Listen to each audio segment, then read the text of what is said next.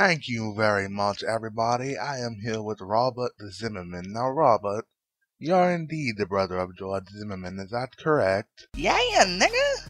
Now, Robert, why do you think George killed poor Trayvon Martin? Well, obviously that nigga was getting his ass beat down. So what you're trying to say is that George Zimmerman was losing this fight he started with Trayvon Martin? That's what I'm saying, my nigga. That's what I'm saying. Did George talk to you at all about what happened during the fight?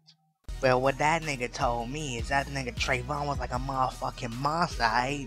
George said he felt like he stepped in the ring with Mike motherfucking Tyson, know what I'm saying? That nigga was whooping his ass. Robert, isn't it true that George walked up to poor Trayvon looking for confrontation?